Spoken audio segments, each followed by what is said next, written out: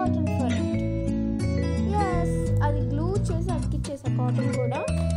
Shape చూసుకుంటే cut అది fold చేయొచ్చు ఫోల్డ్ అయిపోయింది కట్ చేయొచ్చు. సో ఈ వీడియో కనుక మీకు నచ్చినట్లయితే లైక్ చేయండి షేర్ చేయండి subscribe to my channel and don't forget to click the bell icon